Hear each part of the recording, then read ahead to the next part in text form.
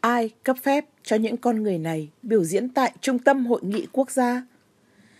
Con gái Mark đã có lần hỏi cha, cha hiểu hạnh phúc là gì? Các Mark, vị lãnh tụ vĩ đại của giai cấp công nhân thế giới, suốt đời mình đấu tranh cho quyền lợi của giai cấp vô sản và nhân dân lao động, đã trả lời con gái. Hạnh phúc là đấu tranh. Câu trả lời của Mark vô cùng giản dị, nhưng đó là một chân lý. Đúng vậy, những người sống có trách nhiệm với bản thân, gia đình, xã hội. Với họ, hạnh phúc của một người là làm cho nhiều người hạnh phúc.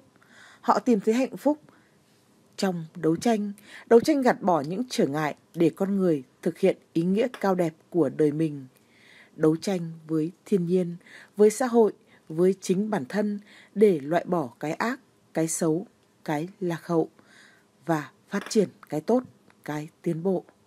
Đấu tranh với kẻ thù dù rất khó khăn, gian khổ nhưng thực chất không khó bằng đấu tranh với chính mình.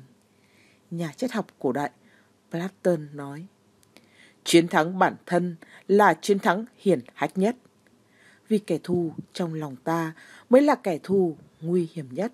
Vậy nên đấu tranh với chính mình là cuộc đấu tranh gay go nhất, phức tạp nhất. Mới đây, người ta nghĩ ra cái gọi là Tết Vạn Lộc 2023 với chủ đề Xuân Hạ Thu Đông để quy tụ dàn nghệ sĩ Chế Linh, Tuấn Vũ, Hương Lan, Trường Vũ. Và điều đáng nói ở đây là chương trình do Nguyễn Công Vượng, tức Vượng Dâu làm tổng đạo diễn. Chế Linh, Tuấn Vũ, Hương Lan, Trường Vũ là những kẻ chống phá đất nước ở hải ngoại. Chúng tôn thờ rẻ vàng ba sọc đỏ và thường xuyên khoác áo ngụy quân để biểu diễn ở hải ngoại. Kể từ ngày vượt biên, chối bỏ tổ quốc đến nay, chúng không hề có ý định quay đầu là bờ, xin lỗi tổ quốc, nhân dân. Vậy, lý do nào để cơ quan chức năng cấp phép cho chúng biểu diễn ngay tại Trung tâm Hội nghị Quốc gia?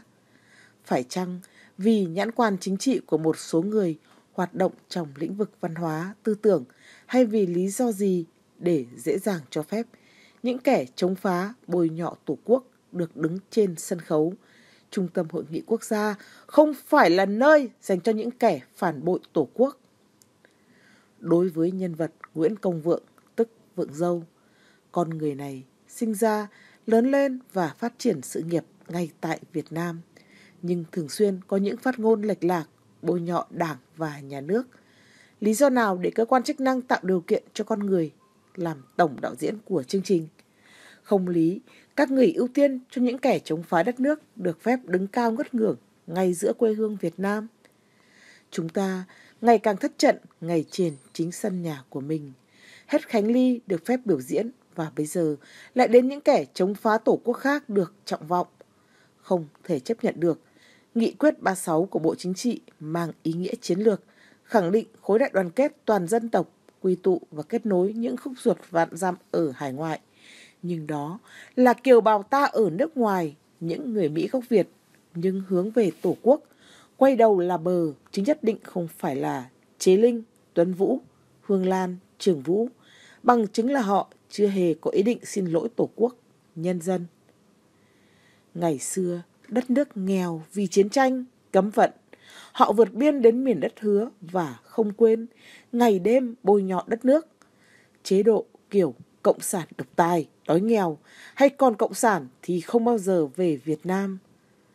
Giờ đây, khi đất nước đổi thay, đời sống nhân dân được nâng lên đáng kể cả về vật chất lẫn tinh thần thì họ lại quay về để kiếm ăn.